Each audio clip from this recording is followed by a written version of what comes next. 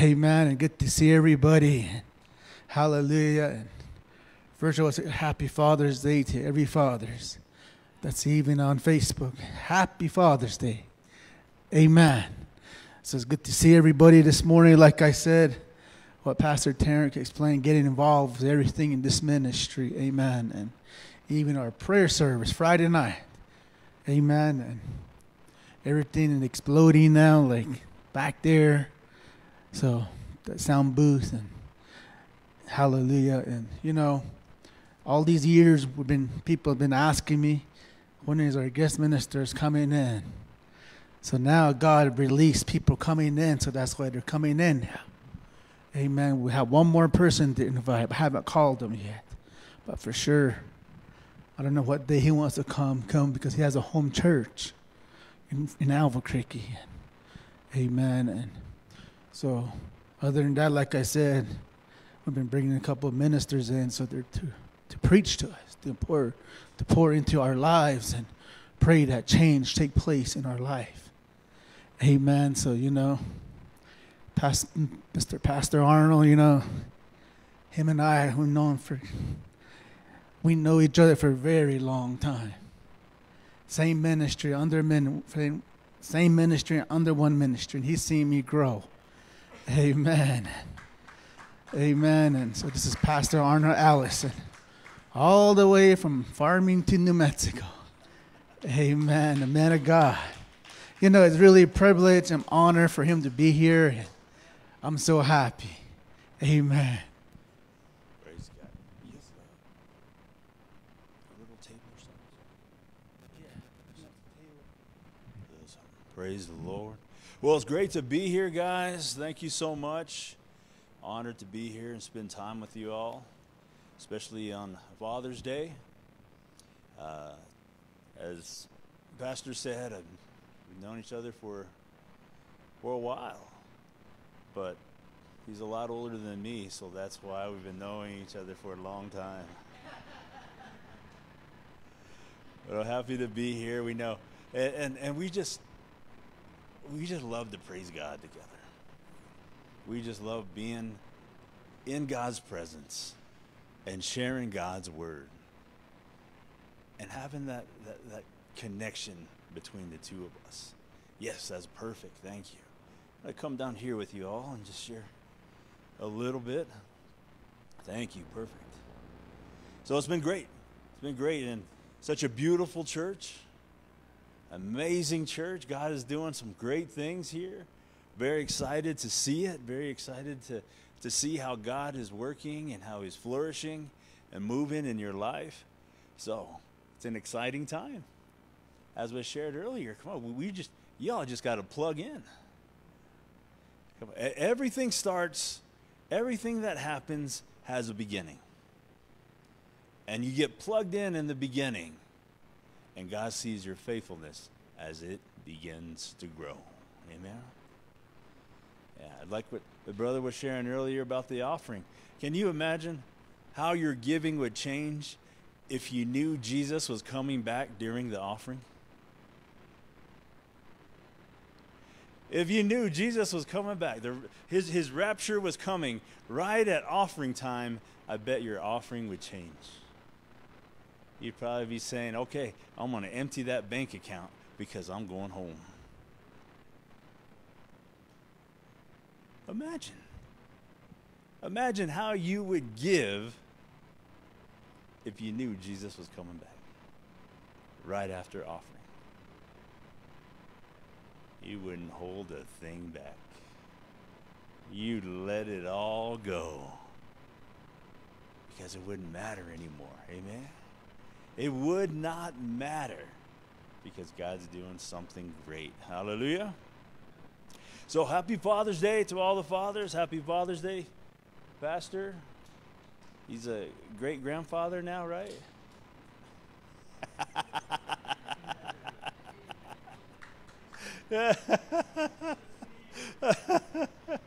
I told you he was older than me. Hallelujah.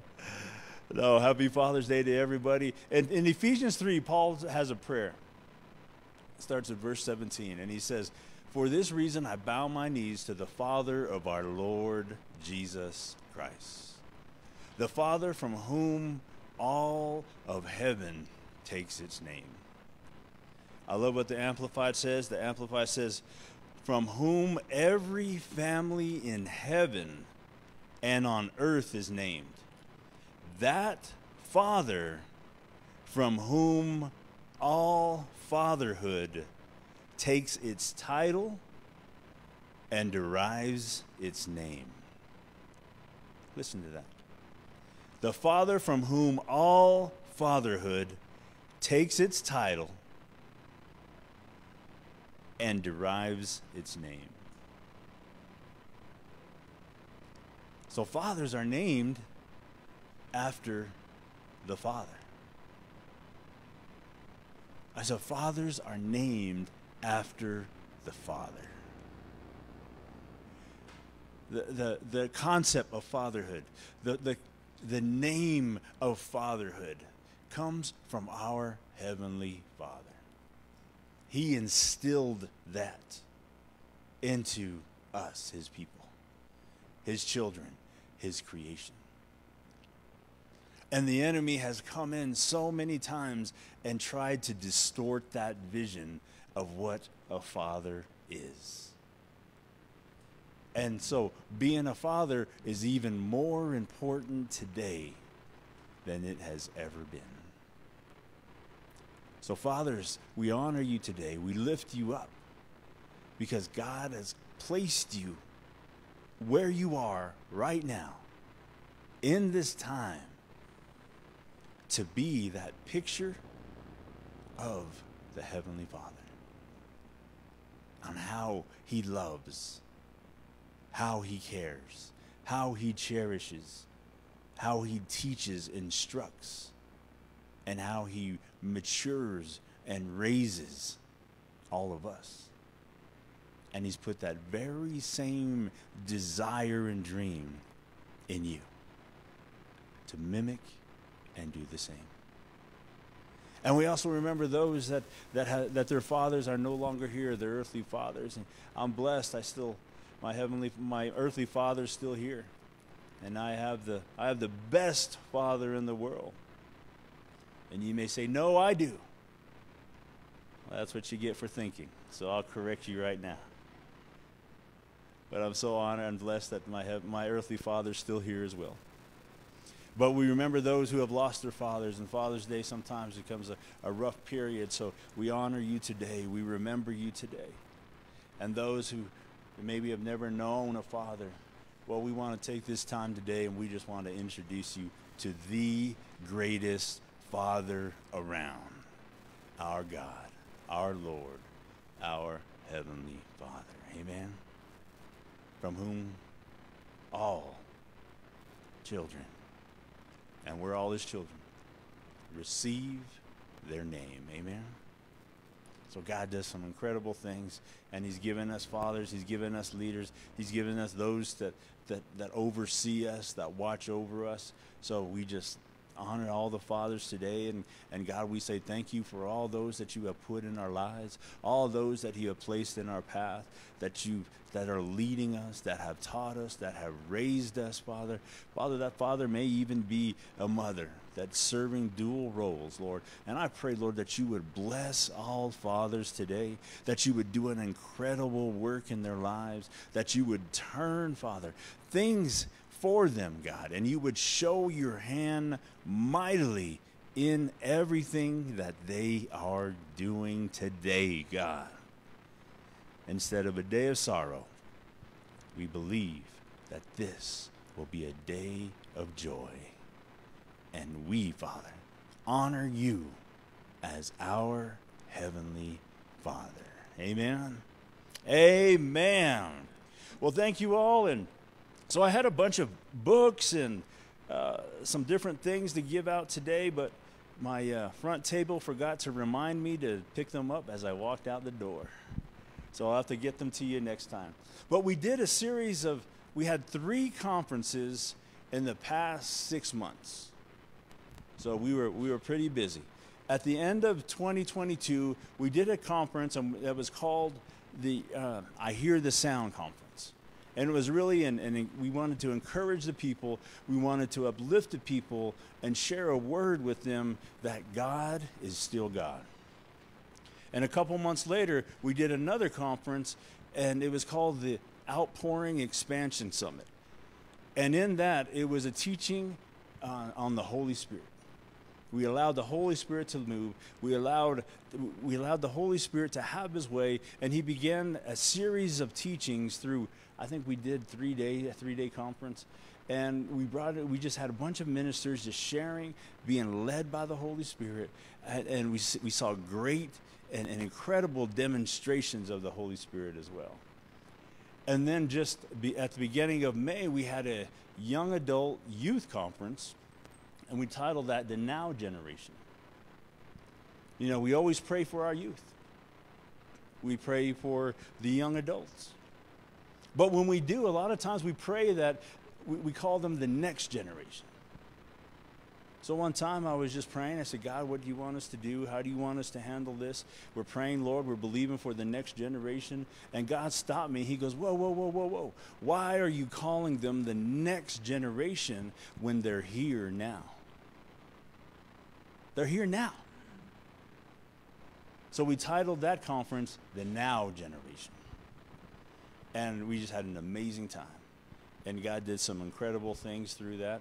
So, and, and what we've done, and Ty, Ty came with me today, and he's, he's uh, one of my brothers, and he helps us out, part of the family, and um, takes care of all of our media and IT stuff.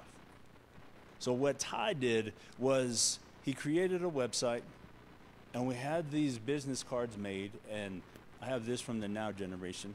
But all you got to do is take out your phone, and instead of taking a selfie like you always do, just scan that QR code in the back, and it'll take you to our website, and it has all the messages uploaded there. Messages, certain messages from the services, and then there's also pre-recorded messages that, we, that the Holy Spirit had us do, God led us to do. And so those are all there. They're all posted. Log on, watch it. I think you can even navigate through the site, right, Ty? And you can find the other two conferences. All the messages are there as well. So get on. I'll give these to Pastor here. Make sure my credit card's not in there. and, and make sure you get a, at least get a picture of it or at least get a card. Uh, if you need more, let me know and I'll, I'll send out some more. But we want you to get on there. We want you to watch all of those messages. You know, we, we did the, the youth conference. And God put it on my heart. I need you to do this before uh, school ends for the summer. Once you get it done before graduation. And I was like, well, God, that, that's it's not much time. But he kept saying, I want you to do it now. Get it done before then. Get it done before then. He just put it on my heart. Get it done before then. So we scrambled and, and everything just came together like it always does when God's involved. So it came together. We had our conference. It was amazing. It was about identity. So we spoke on the, the we taught on the identity of who you are in Christ. And then a week later, there was a shooting in Farmington. And it was a senior that was graduating. And then I knew why God had us hold that conference before graduation. He had us do that before the incident occurred. And everything we taught on, the Holy Spirit had us teach on during that conference is what that young man needed to hear of who he is in Christ, of, how much God loves you, of how valuable the youth and young adults are to God. And we recorded some videos, and we had a number of different people record videos, but those videos were so real. They spoke from the heart.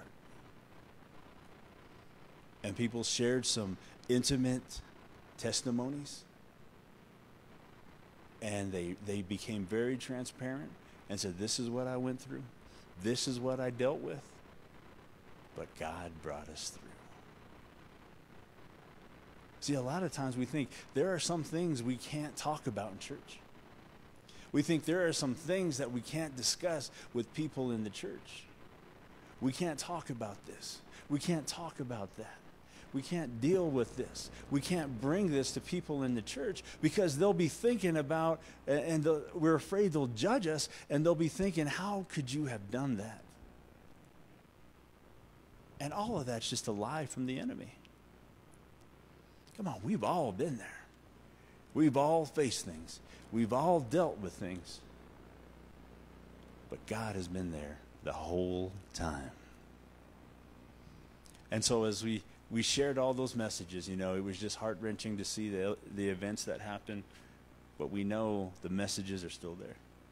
So please get a card, take a card, and, and, and watch the messages. We, we encourage you and, and allow God to be a blessing. Amen? Hallelujah. So, you ready to get in the Word? So, this morning, and it was funny because I, I struggled with this all week. And I was asking God, God, what do you want me to share? It's Father's Day. What do you want me to talk about? All week, all week, all week, all week. And, and the same thing kept popping up in my, in my spirit. I want you to share this. I want you to share this. I want you to share this. And I was like, oh, but it's Father's Day. I want you to share this. I want you to share this. It's Father's Day. So finally, yesterday, I text Pastor. I said, hey, is there anything specific you want me to teach on? He goes, no, just be led by the Spirit. I was like, oh, man. I thought he was going to lead me in a certain direction. But this morning, God wants me to talk to you about giving about giving. It's too late to look down. I already see you all. Giving. God wants me to share a word with you about giving. You know, giving's important. Jesus, there, there's more recorded scripture, over 2,000 scriptures on giving, and only about 500 on prayer and and 500 on uh, on hell, heaven and hell. Both are important. Prayer is important. Knowing God's important. But there are four times more verses on giving than there are about prayer. Think about that. Four times more in the Bible. So, why is giving so important to God? Why is it something that, that God continually put in His Word? The Bible says, where your heart is, there your treasure will be also. Right? Right? How many believe the Bible says that? Yeah? You're wrong. If you were on a game show, I'd hit the button and say, eh. The Bible says, where your treasure is, there your heart will follow.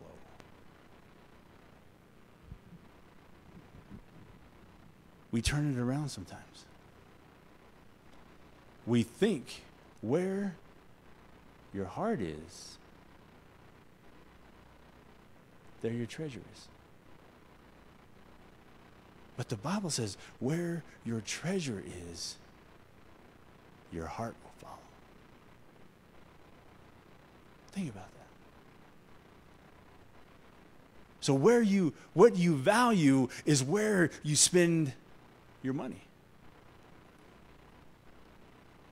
Like Pastor was saying, McDonald's will be there. If you hold back from your offering, from your tithe, to go to McDonald's, what does that say about McDonald's over God's house? See, where your treasure is, there your heart will be also.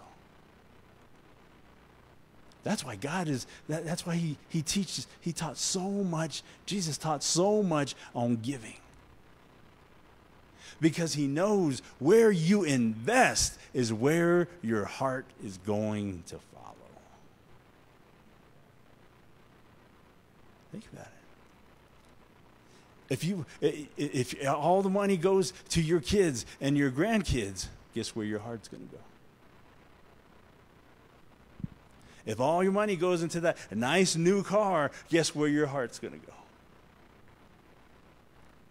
But when we honor God first, oh, come on. Are you here this morning? I said, when we honor God first, when we honor God first, guess where your heart will go? Oh, come on. It's quiet in this Holy Ghost filled church. Look what the message says. It is obvious, isn't it?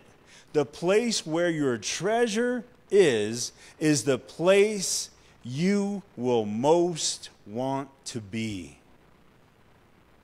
And the place you'll end up being. Y'all look at me like I'm speaking Spanish this morning. Read it one more time. It's obvious. This is this is message translation. It's obvious. Is it obvious to you? It's obvious, isn't it? The place where your treasure is, is the place you will most want to be. And it's the place where you'll end being. Ah. Where your treasure is, there your heart will be also. Wow. Wow. Imagine if your heart, imagine if your treasure was in giving. Imagine if you honored giving. You know, Sunday morning isn't the time when you decide whether you're going to give your tithes or not. Sunday morning, it's not when you decide whether you're going to be a tither or not. You decide when you're going to tithe the moment you get your increase. So if you get paid on Thursday, Thursday is the day when you decide whether you're going to tithe or not not Sunday morning. Because on Thursday or on Friday or whenever it is that, that you get your increase, that is the very moment when you decide if you're going to tithe. Because you either say 10%, that's God's. And I deal with this. And I even saw that, that, that they made a way that you can actually give when you're not in church. So you can give your tithes when you, right, the moment you get paid. Amen. Amen. Come on. If you get paid on Wednesday at 1201, on and then or Thursday actually at 1201 then at 1202 they've made a way that you can actually give your tithe right after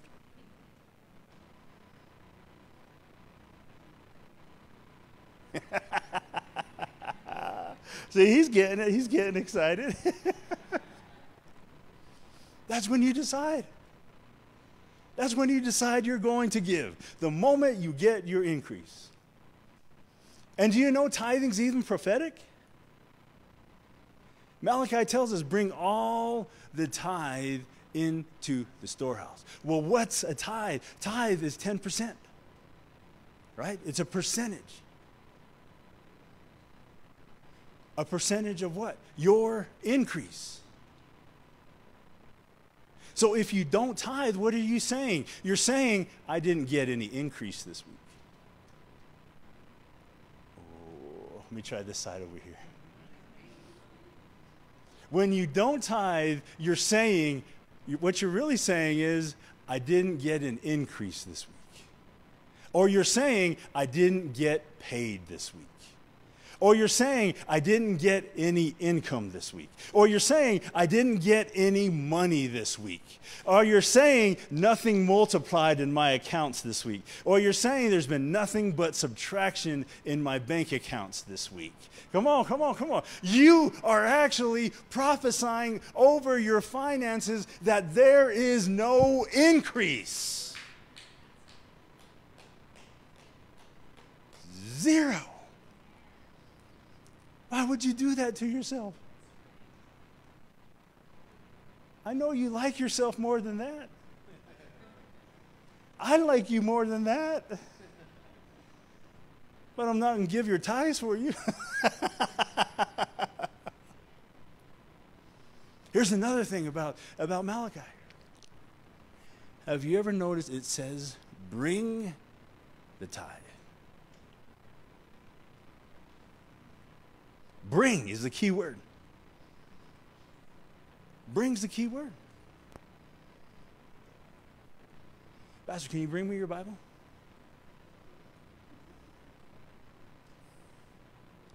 Thank you. You can sit down. Now, can you bring me your Bible?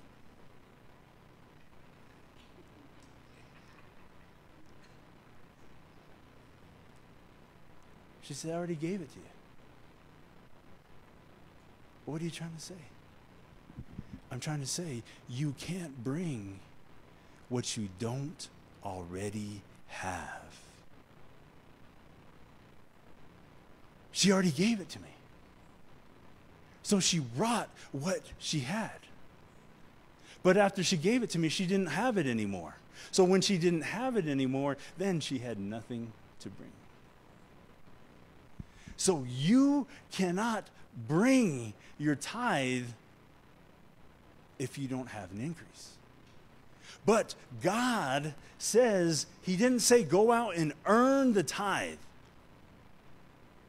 He didn't say go out and try and find the tithe. He said bring the tithe. So that means you already have it. Oh, don't look at me in that tone of voice. He said, Bring it. I've already given it to you. It's in your possession. Now, bring it to the storehouse. Wow. Wow. Say wow. Now say it backwards. Some of you had to think about that for a little while. You're a wow. Backwards. Oh, wow. Okay. so, one, tithing's prophetic. Two, bring the tithes. You already have it, it's already in your possession. Isn't that good? You see how good God is? He already set it up. Now it's just up to us if we're going to do it or not. If we're going to trust Him. Proverbs 11:24 says, "There's one that scatters yet increases. But there is one who withholds more than is meet or more than is right, yet it leads to poverty. There's one that scatters, yet increases. There's one that holds back more than is right, but that leads to poverty. Notice, notice, notice. The one who holds back, he still gave. Because the Bible says he held back more than what was right. So he gave some. He gave a dollar. He gave a, a, five. We call that tipping God. he came to church and he gave God a tip. Here you go, God. But he held back. In other words, he didn't give the whole tithe. So you may think, hey, I'm doing good. I'm doing all right. I put, I put a couple bills in, in the offering, so I'm doing fine. But the Bible says if you don't bring the whole tithe, he says that leads to poverty.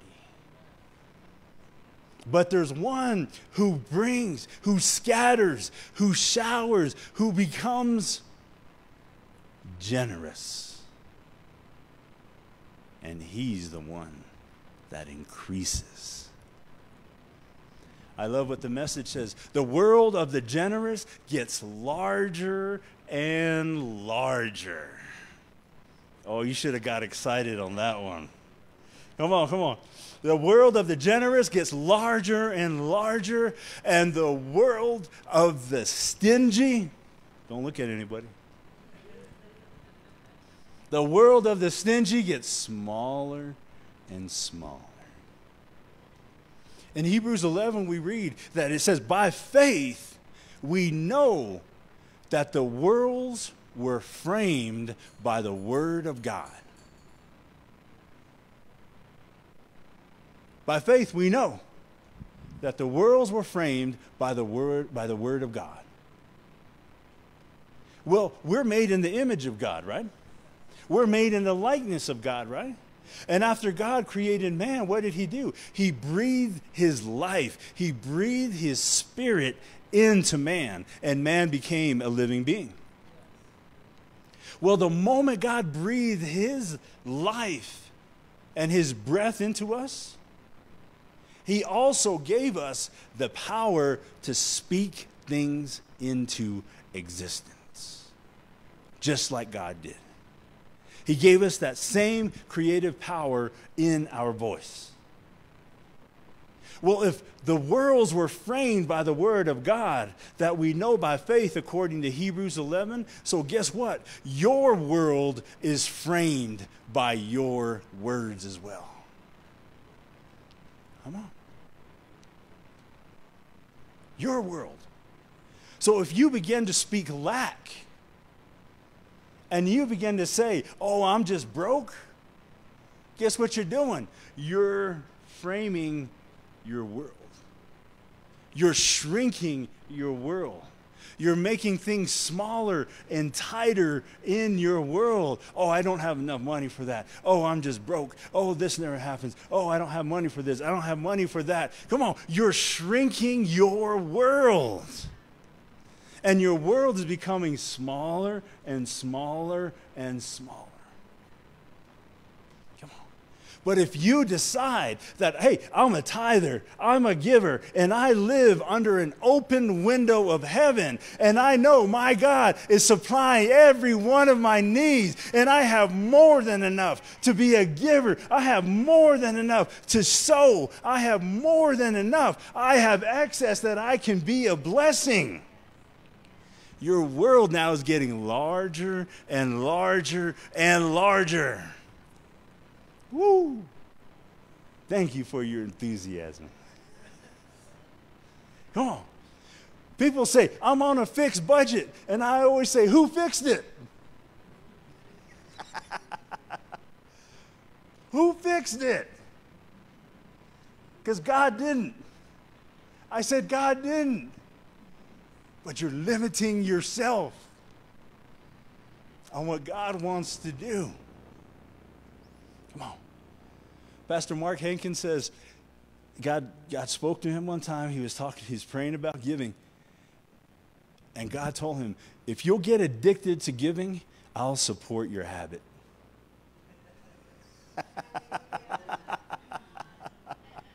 Come on, you here this morning? Come on you get addicted to giving, and God says, I'll support your habit. You always have plenty. Come on, come on, come on. And he says, and you'll give more than you ever gave before, and you'll still have more than you ever had before afterwards. Come on, come on. Come on. It's the Word of God. Where your treasure is, there your heart will be also. Where your treasure is, is the most desired place you'll want to be. And sooner or later, you'll end up there too. So we see all throughout Scripture the concept of giving. Now, people give, they give, they give, and they give. Turn with me to 1 Timothy chapter 6. 1 Timothy 6. And I want to start at verse 17. Now in, now in this chapter, in this book, Paul is writing to Timothy. And Timothy is the pastor of a church. So, in other words, Paul is writing to a church, he's writing to a pastor. And this is what it says Commend those who are rich in this present age. Y'all missed it. Remember, Paul is writing to a pastor. And he is encouraging the pastor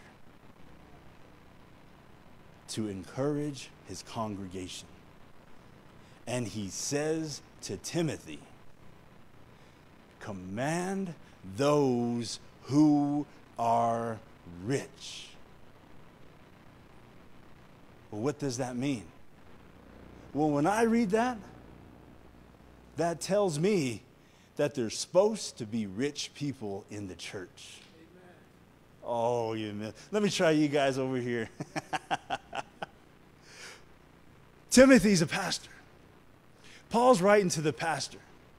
And he's telling the pastor, encourage your congregation. He's telling them, tell the rich people in your congregation this message. there are supposed to be rich people in the church. So when I, when I saw that, when I got that revelation, I just signed up. I said, put me on that program.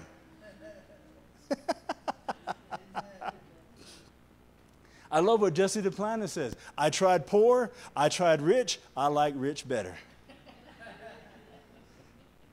Come on. He didn't say condemn the rich. No, he's giving the rich instructions. Come on, God wants to increase you. God wants to take you higher and higher. God wants to bless you. He wants to bless you so you will be a blessing. How can you bless somebody when you got empty pockets?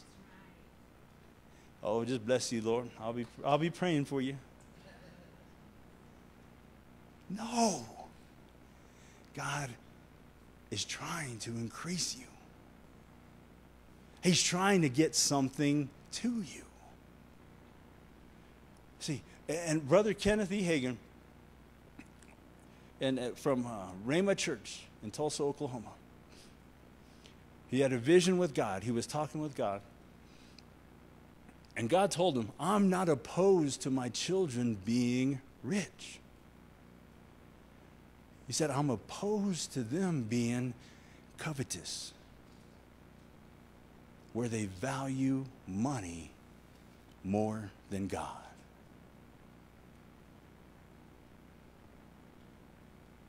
So he says, Tell your congregation, tell the rich people in your congregation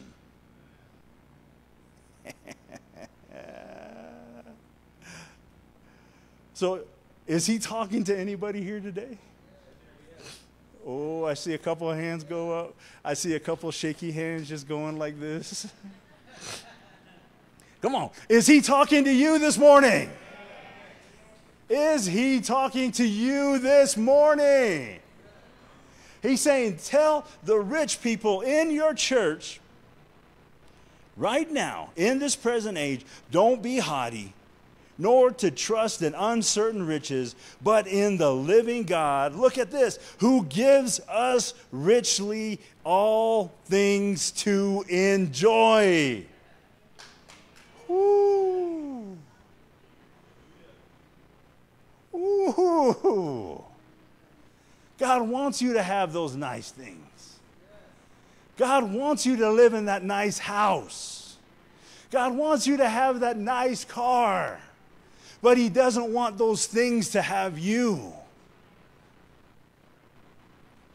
Come on, how are you going to drive around in a beat up car that's barely going and say, Praise God, look what the Lord has done?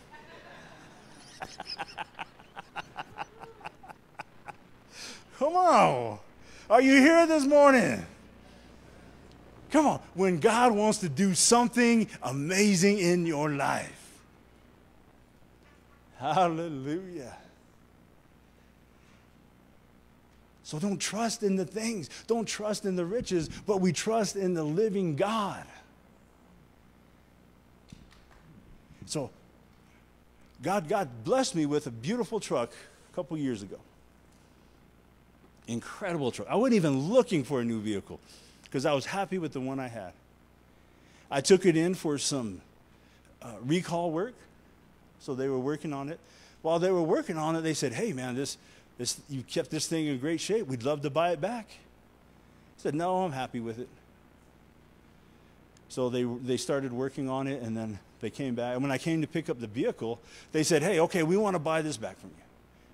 And this is how much you bought it for, because I bought it at that dealership. And they said, This is what we want to buy it back for. So they bought it back for like a $1,000 less than what I bought it for. So I was like, Man, that's a pretty good deal. I said, All right, let's do it. I said, But if you're taking my truck, now I need something to drive. So I started looking around the lot and I saw this beautiful truck there. I mean, it had everything in it except the driver.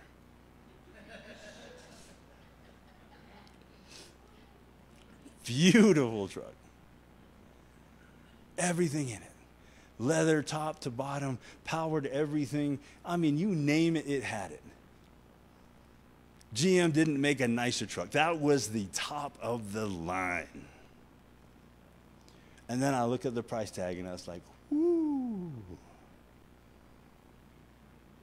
I said, no, I'm not going to pay that.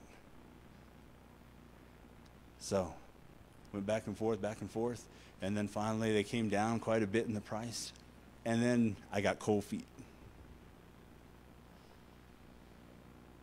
And I started thinking, what are people going to say with a pastor driving such an expensive vehicle?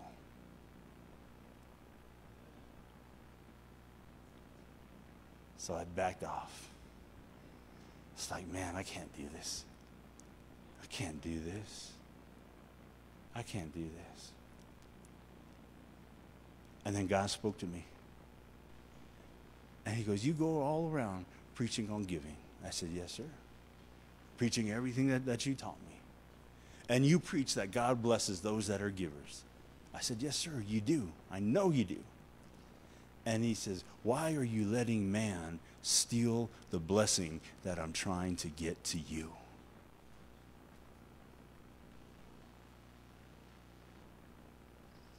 And then God said, They're talking about you anyway. So what does it matter if they say anything else? I said, okay, God, let's do it. So I called the dealer. I said, okay, let's do it. I'll be there tomorrow and pick it up. So I went and got it. Just blown away by what God did. And do you know that truck has been one of the biggest witnessing tools that I have ever had. I'll be parked at a gas station, a fueling station. Someone will walk up to it. Man, that's a beautiful truck. I said, Yes, I love it. God's been good to me.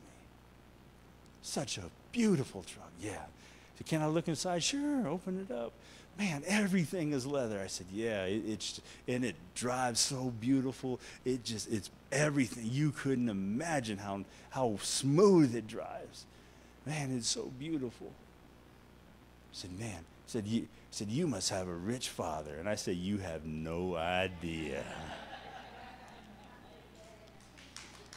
and they said, What do you do? I said, I work in the family business. Oh man, you guys must have a tremendous business. I said, We go everywhere. I said, We're all over the place. And he goes, What's your father do? I said, My father does it all. he does everything. There's not a thing he doesn't do. And he's on and on and on. And then he goes, Who's your dad? Who's your father? I said, God Almighty. He is my father. And I said, He's the one that gave me this vehicle. He's the one that opened the door. He's the one that paved the way so I could have this. And they look at me with the strangest look in their eyes. You're a preacher? I said, I sure am. I share the gospel everywhere I go. And I turned right around and said, Do you know my father? If you don't, I'd love to introduce you to him right now. At a gas station. Come on. And that's happened to me time and time and time again. And God just says, Imagine if you felt more concerned about what man said and you never received the blessing. See, God wants to get stuff to you. He's trying to bless you. He's trying to get something to you. But first, He wants to know can I trust you? The Bible says, if you'll be faithful in the little things, I know you will be faithful in the larger things. We're wanting Him to, to increase us to the, to the big things, to the larger things, when we haven't shown Him that we can be faithful in the little, in the small things. A small thing like 10%. Oh, you thought I forgot about that. Small thing like 10%. Say, God, this is yours. I just return it back to you. It belongs to you. So he says, charge them who are rich in this present age to not be haughty, to, to not trust in uncertain riches, but in the living God who gives us richly all things to enjoy. Let them do good, that they be rich in good works. Look at this ready to give, willing to share, storing up for themselves good foundations for the time to come, that they may lay hold of eternal life. He wants to bless you beyond your wildest dreams so you can do good for other people, to bless other people. Your giving unlocks that. You don't know the countless times when we've been sitting at a restaurant and God says, Hey, I want you to bless your server. I said, Okay, God. We were just at, at dinner, what, last Monday, Ty? Monday or last Monday or Wednesday. It was a late dinner. We just got out of church. We went with a couple of the pastors and we went to dinner. We were sitting at Olive Garden eating, and service was horrible bad. and we were just waiting, waiting, waiting, a long time for our food. I think we were the last ones out of the restaurant service was so bad. And the waitress kept coming out, I'm sorry, I'm sorry. And obviously she was distraught, something was on her mind. But God said, bless her. I said, okay, God. So she brought us our bill. I took the bill and gave her a tip. And I said, thank you. Thank you for helping us. She took, took the bill.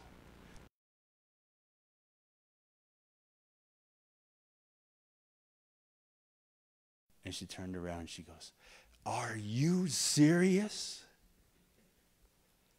She saw the tip. She goes, Is this right? I said, Yes.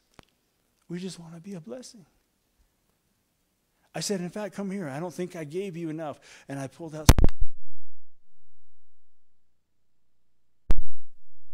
And then the tears just started flowing out of her eyes. And she goes, You don't know how much I needed this. I said, No, I don't, but God does. And He's the one that told me to do it. And I looked her in her eyes and said, I just want you to know that God loves you. And she just broke. Come on. Your generosity will open the door for you to share the word and be a witness to people that are otherwise closed off. But how can you do that when you've got a pocket full of lack? And God says, Come on, just trust me. Just trust me.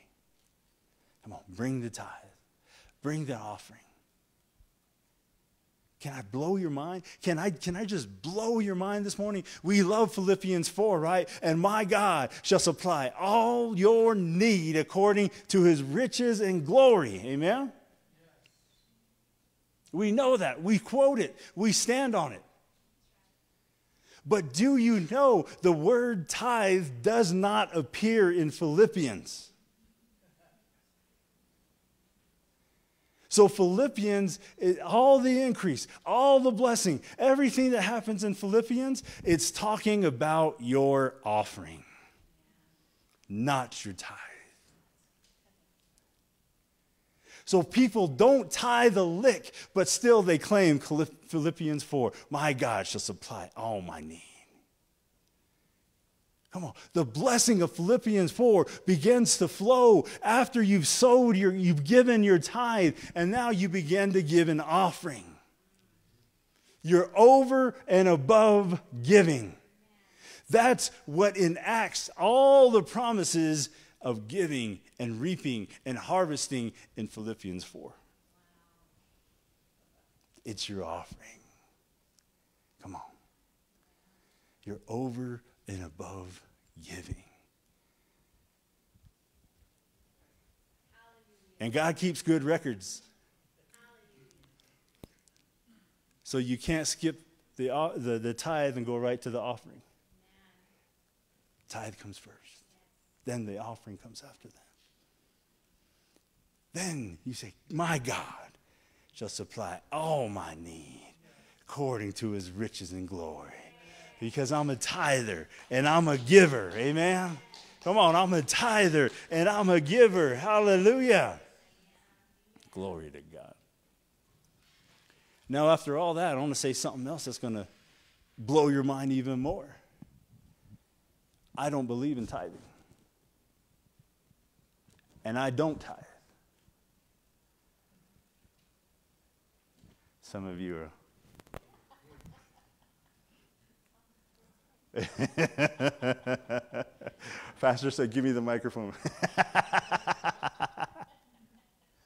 I don't tithe. But what I do do is I triple tithe. That means I just don't give 10%, but I give 30%. I'm a 30% giver. And I'm on my way to being a 40% giver. God and I are having this little game back and forth, and it's been fun. It's like, God, I want to be, I want to be a 40% giver. So one year I gave and I gave and I gave and I gave. And at the end of the year, when I tallied everything up, I was only at 34%. well, what happened? I gave like I gave I gave 40%. But God just increased me so much that my 40%, when it was all said and done, with all the increase he brought in, only added up to 34. So I start out every year. I want to be a 40% giver this year. And God just keeps increasing. So the closest I got was 37% one year. After that, it's been going down. Because God just keeps blessing me. He's just giving here, here, here. But I will get there one day, praise the Lord. Come on. God's trying to get something to you. God wants to bless you. God wants to increase you. God, He didn't design tithing for you to go broke. He didn't design giving for you to go into debt. He didn't design it for you to, to, to drop and lower, go lower and lower. No, no, no. He designed giving in order to increase you. The Bible says he will multiply your seed sown. Multiply your seed sown. What does that mean? If you sow $100, God's going to multiply that seed. So instead of sowing 100 after he multiplies it, it's like you sowed a 1,000. Now, would you rather have the harvest off a 100 or the harvest off a 1,000? It's not a trick question. Once you put the seed in the ground, He's multiplied it. He's multiplied it. He's increasing you. So He didn't design tithing for you to go into decrease. He designed tithing and giving for you to increase, to go higher, to go higher and go higher. In Acts 10, we read about Cornelius, how he had a vision and, and he sent for Paul. You remember that? He had a vision and then he called for Paul. Paul had another vision and, and God told him, go see Cornelius. And when they, when, when in Acts 10, the very first verse, it tells us that, there, that Cornelius, it tells us who he was. That he was a devout man who feared God, who gave alms generously, and who prayed all the time. Three things that he did. It says, There was a certain man named Cornelius. So, a specific man, a specific person. And the Bible tells us the three things this man did that he gave alms generously, that he was a devout man who feared God, and that he always prayed. Because of those three things, God sent the Apostle Paul to his house. And when the Apostle Paul showed up, he began to preach. And you go down a few verses, around 14, it says that while Paul was still preaching, the Holy Spirit fell on everybody in the house. Did you get that? The Holy Spirit fell on everyone in the house. What did this man do? He feared the Lord. He gave generously and he prayed. And because of that, Paul came and the Holy Spirit filled the entire house. All his children, all his grandchildren, all his workers, everybody there was baptized in the Holy Spirit that day. Come on. There are some things that your giving will do that money cannot buy. How much is it to you? How, what's the value that, that you can put on having your entire family saved, filled with the Holy Ghost, and speaking in other tongues? And all he did was give. He was a generous giver. In fact, in the vision, it says that your giving, your generosity, has come up as a memorial. Uh, another translation, uh, that can also be translated a monument to God, before God. The way I envision it is God is sitting on his throne. And while he's sitting on his throne, this huge monument comes floating by God. And God says, Wait, wait, wait, stop, stop, stop. What is that thing? And the angel said, That's Cornelius's giving. Oh, I'm going to try this side over here.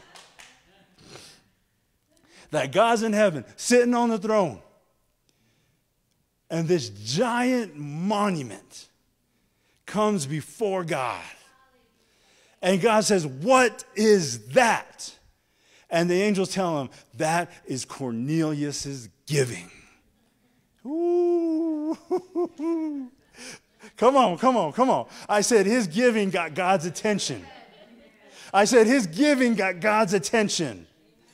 And when it got God's attention, he said, Whoa, whoa, whoa, send the Apostle Paul to Cornelius's house. And when, the, when, when Paul gets to Cornelius' house, I want you to save everybody in his house. And I want you to fill everybody in that house with the Holy Ghost. I want you to have them to be baptized. I want them to speak in tongues. I want them to be dancing. I want them to be praising. Come on. I am going to answer Cornelius' prayer because I see his giving that has come up before me. Ooh, You can't buy that.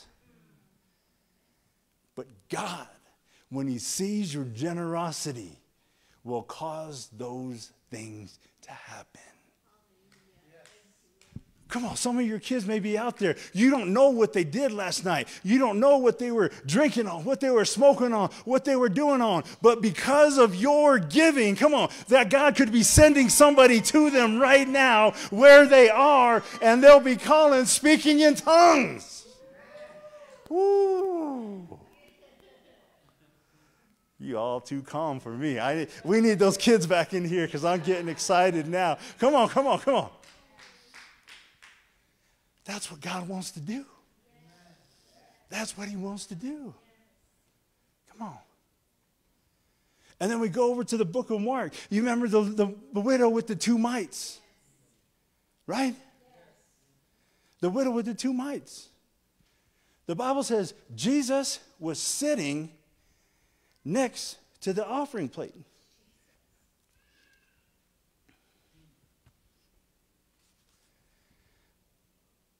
And he was making comments while people were giving. And he said, Those that had a lot gave a lot. And he's just watching. Coming in, someone put some money in. He says, Yeah, you spent more than that at Walmart. Somebody else come. Yeah, you spent more than that on that new car you have. Someone else comes. Oh, you, you gave more to your grandkids than that. Mm-hmm. And then this widow comes. And it says she threw in two mites. Her whole livelihood, she threw it in. Then Jesus calls the disciples, said, Come here, guys. I want you to see this. This woman, she gave more than everybody else. They gave out of their excess, but she gave out of her livelihood.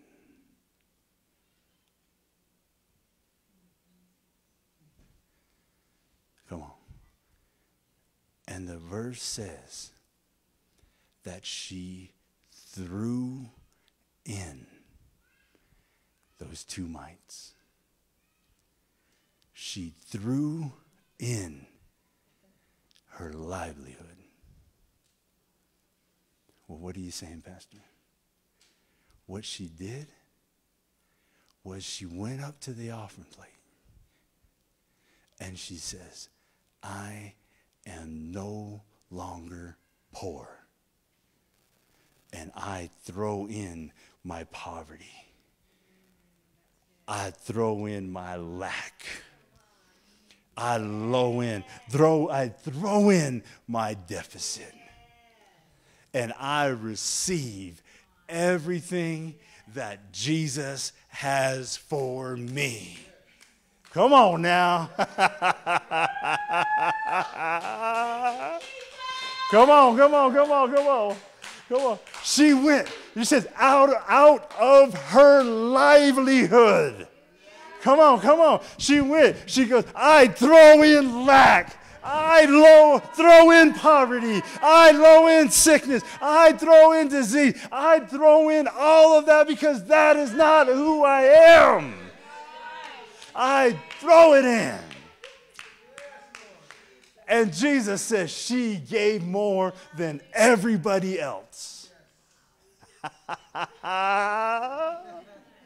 come on, come on, come on.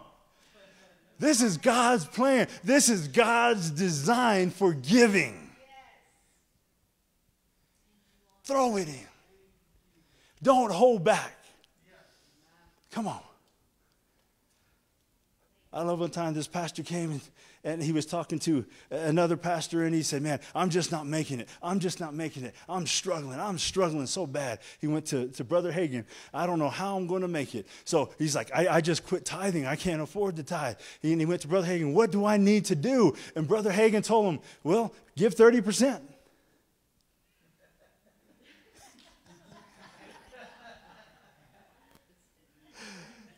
I said, I just told you I'm not making it, so I can't even give 10.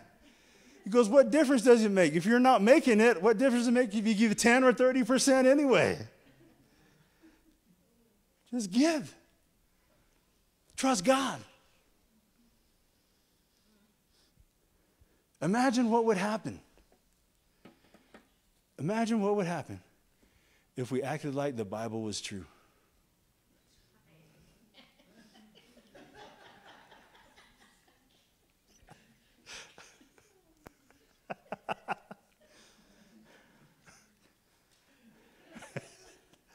Imagine what would happen if we acted like the Bible was true. Whew. Imagine how your life would change if you acted like the Bible was true. Imagine how your faith would increase if you imagined or you believed the Bible was true and you just acted on it. And you just gave like the Bible is true. Just imagine. Come on. Because I like one pastor, he goes, we, we, put, um, we put Jesus glitter on everything. People say, How you doing? Oh, I'm just doing great when everything's falling apart. So, so we spread the Jesus glitter in church. Oh God, you're, you're my God. Oh, I trust you, God. Oh God, you, my faith is in you. Oh God, I give you everything, Lord. Jesus glitter flying all over the place. And then you walk outside and you're like, I have no idea how I'm going to pay this bill this week.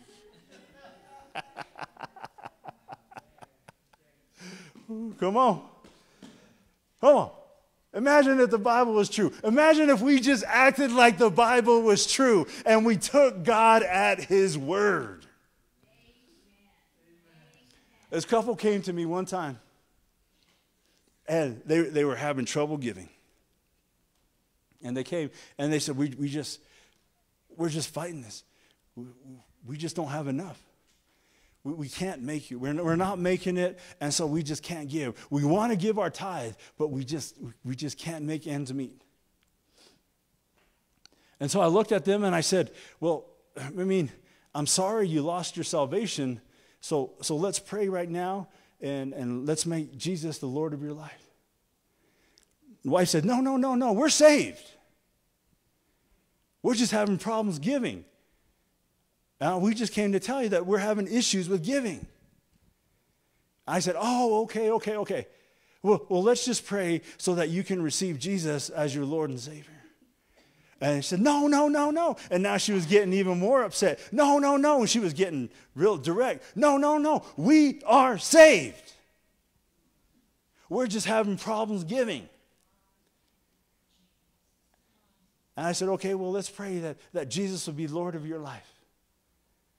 And at that moment, the husband sat back and he just goes, Oh. And the wife looked at him. What? What are you owing about? She was, she was mad by this time. I made her mad. Not on purpose. Looked at her and said, Why are you, what are you owing about? And I looked at her and I said, You, you get it, right? He goes, Yes, I do. And I looked at her and I said, So God is strong enough to save you from all your sins. But God isn't strong enough to save you in your finances. And she sat back. Come on. We have faith in God for our salvation, which is the greatest miracle ever. But yet, we don't have faith in God for our finances. Come on. Think about that. Think about that. What we're really saying is God, you saved me. You saved my soul from eternal condemnation and living in hell. And I thank you for it. But God, my financial burden is way up here. We're saying, God, my financial predicament is greater than my salvation. When we talk about lack in that way, come on. If God saved your soul, how is He not going to deliver you financially? Come on. It's all there. He did it all and he's seated at the right hand of the Father. His done. He's, his work is done. It's finished. It's complete. He said it on the cross. It is finished. Now it's when are you going to get on board? When are you going to start trusting Him? Come on. And we start bringing our tithe. We bring our offerings into the storehouse like God says. And then God begins to pour out the blessing into our lives. Glory be to God. And we know we hear accounts all the time of people that have gone to heaven. There was one gentleman that went to heaven. And when he, when he went to heaven, as soon as he got in, he says there was a huge, huge mansion in heaven massive, bigger than all the others. And there were people standing all around it, just gathered, gazing at it. It was so beautiful, it was so massive. And he got up and he walked up to the people and he was looking at it and he just, it was just breathtaking. And then he asked, Whose mansion is this? And one guy turned around in the crowd and he said, You remember the woman who gave the two mites? This is her mansion.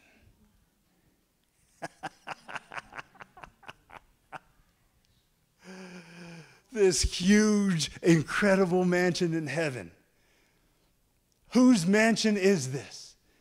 They said, The woman that gave the two mites. This is where she lives now. Come on, are you here this morning? Woo! Glory to God. Come on. You can't have Mercedes living and skateboard giving.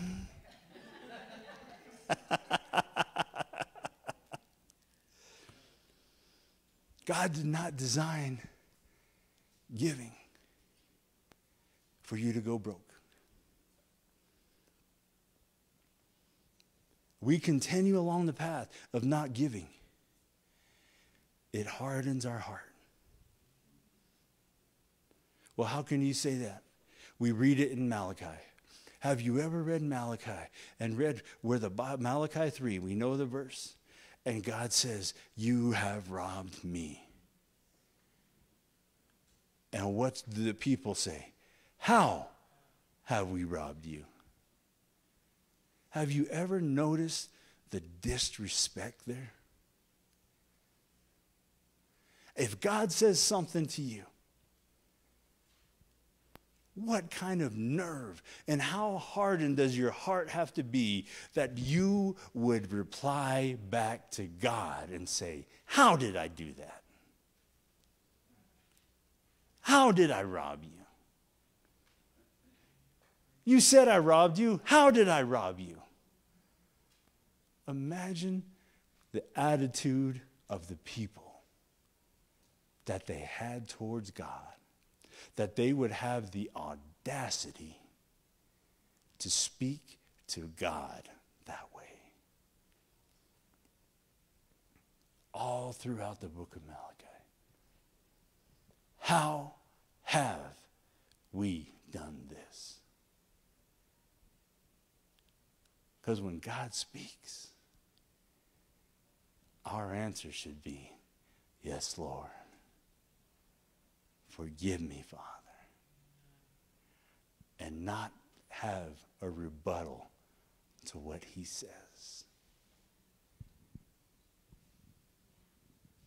Not giving will harden your heart. And once your heart begins to get hardened, we have trouble hearing from God.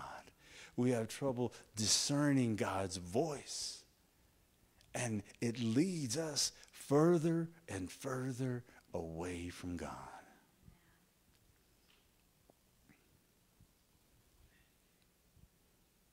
Tithing, 10%. Anything above your tithe is an offering.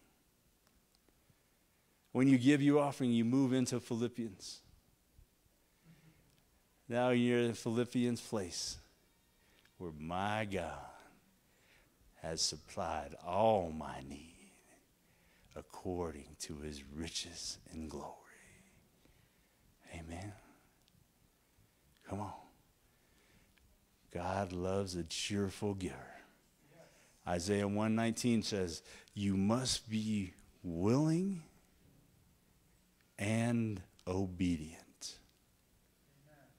If you are willing and obedient, you will eat of the good of the land. That means you can't give your tithe grudgingly. You can't give your offering grudgingly.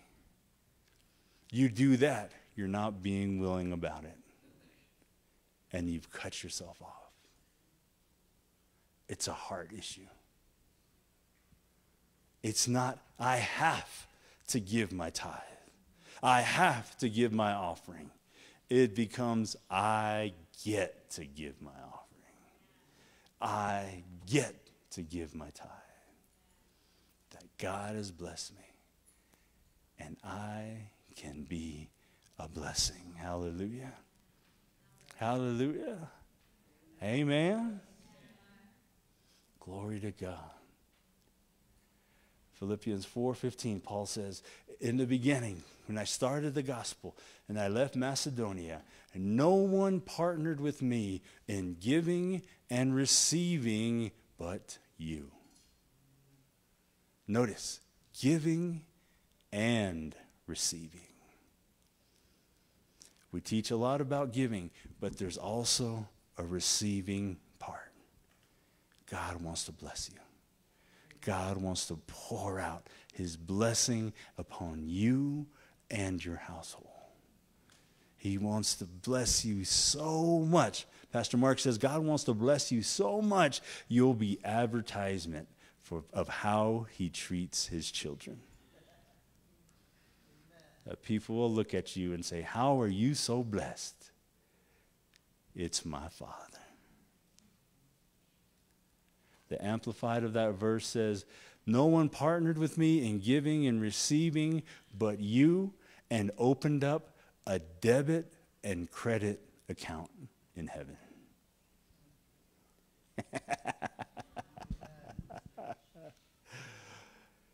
you know, you have a debit and credit account in heaven,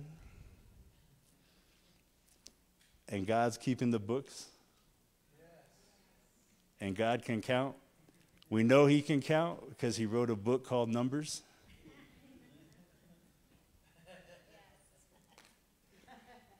So every time you give, every time you sow seed, you're making a deposit into your heavenly account. And as you make that deposit, he's putting a credit on it. And now he has something that he's going to take and bless every one of us with. Amen. That's our God. That's our Father. And He's trying to get something to you, and He's trying to move stuff to you. And He says, All I need is to see your faithfulness. All I need to see is that I can trust you. And the more He can trust you, the more He can get through you. Amen? Hallelujah. That's why we say, I'm a tither, I'm a giver, and I live under an open window of heaven. Amen. Smith Wigglesworth says, My Father God takes care of me in grand style. In grand style. Come on. I eat the best. I live in the best. I drive the best. Amen. Come on. My Father God takes care of me in grand style. Amen.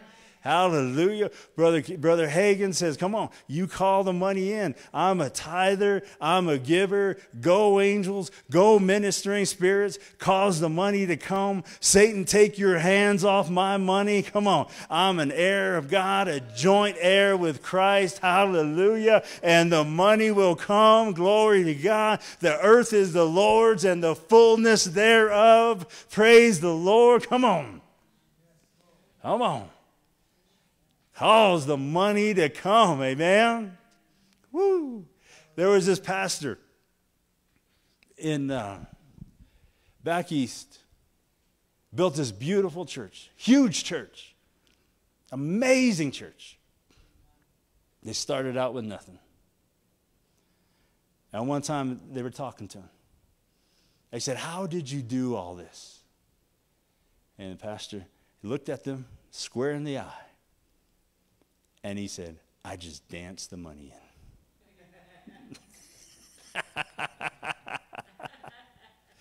he said, I just danced the money in. Oh, you're not hearing me. He said, I just danced the money in. He said every time, every time a deficit came, every time a struggle came, he said, I just took off dancing and he said, I just dance the money in. Come on, come on, come on, come on, come on, come on. He said, I just dance the money in. Come on. Hallelujah.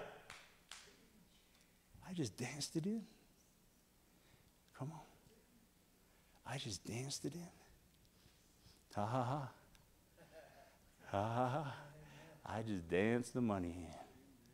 Come on, is there something you're facing?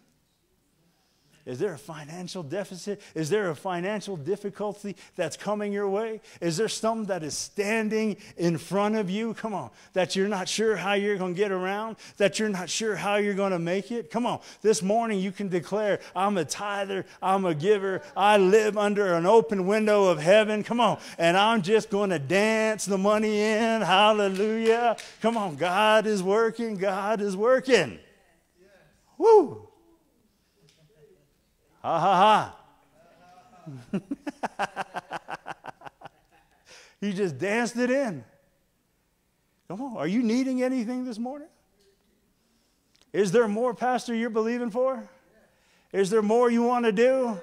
Come on, come on. Is there more that God has put onto your heart? Is there more vision? Is there more desire? Is there more calling? Are there greater things that God wants you to do? Come on, then you just dance the money in. Come on. Hallelujah. Come on, come on, come on, come on. Is there anybody here today that's believing something for God? Come on. You just got to dance the money in. Come on. Woo. Let me ask you this How would you act? How would you act if you already had the thing that you've been believing God for? Ooh, that's it.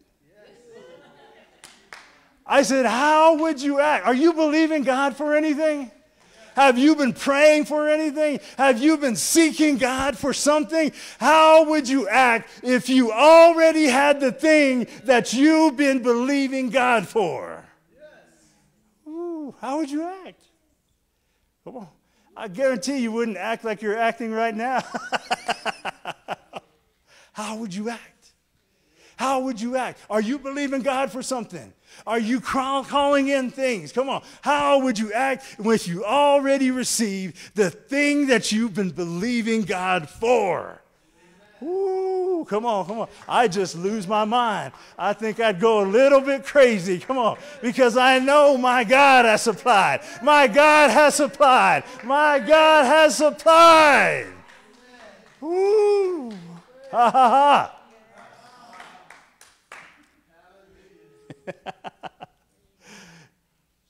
Tithing, offering. It's biblical and it works. Trust God with your finances, put it into His hands. Come on. The Bible says, bring it. You already have it in your possession. How are you going to trust God and sow it in? Come on. I don't want to come back next year and find you in the same place that you are right now. I don't even want to come back next week and find you in the same place that you are right now. Come on. I want to see you increase. I want to see you grow. I want to see God working in your life. And I want to see that growth in you and in your finances and in your spiritual walk that shows that you are trusting God. Ha ha ha. That'll make a tadpole slap a whale. Ha ha ha. Give and act like the Bible is true. Amen? Amen? Amen? Hallelujah. Give God a shout of praise. No, no, no, no, no, no. I said, give God a shout of praise this morning. Hallelujah. Pastor. Amen. What a word. Amen. Hallelujah. And if you need prayer, Pastor Arnold can pray with you. Amen. Amen.